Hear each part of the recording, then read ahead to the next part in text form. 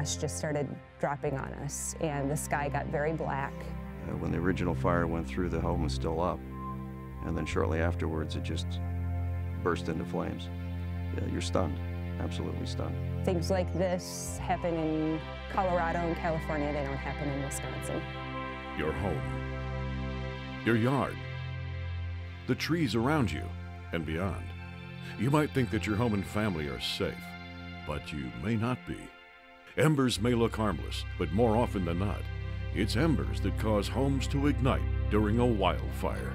In this short video, you'll learn how embers can threaten your home, and you'll find out why it's important to be ember aware. If you live in an area at risk to wildfire, being ember aware means two things.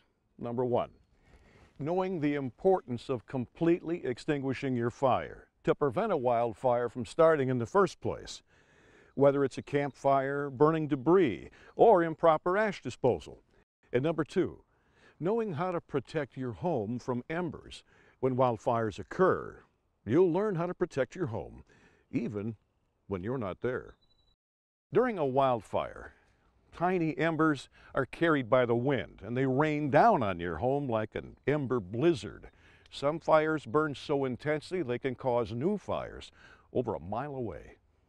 What people don't realize is that it's not the, the main fire that's coming past that tends to burn many of the homes down, even most of them.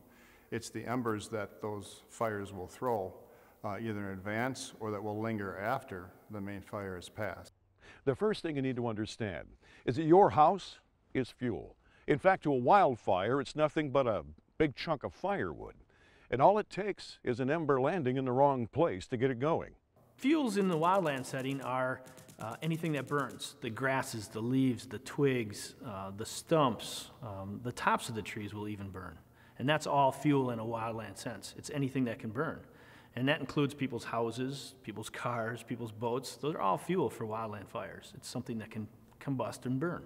Accumulated dry leaves, pine needles, trash, and other debris can easily ignite a home in minutes.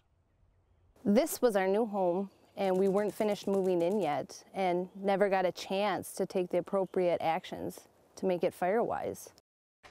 Protect your home by removing all flammable objects off your roof, gutters, and eaves, and away from the sides of your house. In fact, anywhere an ember could land and start a fire could be a problem. It's the little things that can pose the greatest risk. Things like dried leaves and pine needles in a corner of your deck.